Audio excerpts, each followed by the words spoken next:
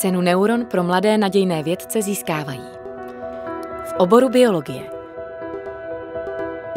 Petr Kohout za výzkum v oblasti soužití hub a rostlin nazvané mykorhizní symbióza.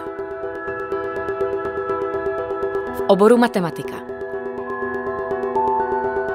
Vladimír Lotorejčik za svůj výzkum ve spektrální teorii a tvarové optimalizaci. V oboru medicína Michal Šimíček za zkoumání procesů, které způsobují zhoubná onemocnění a jejich lékovou rezistenci.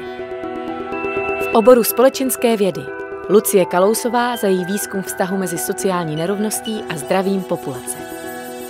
V oboru fyzika Ondřej Pejcha za významné obohacení současných poznatků o chování supernov a jiných zániků a proměn hvězd. A v oboru Computer Science Martin Balko za rozlousknutí matematických problémů v kombinatorice, se kterými si i celá desetiletí nevěděli vědci rady, a to pomocí použití počítače.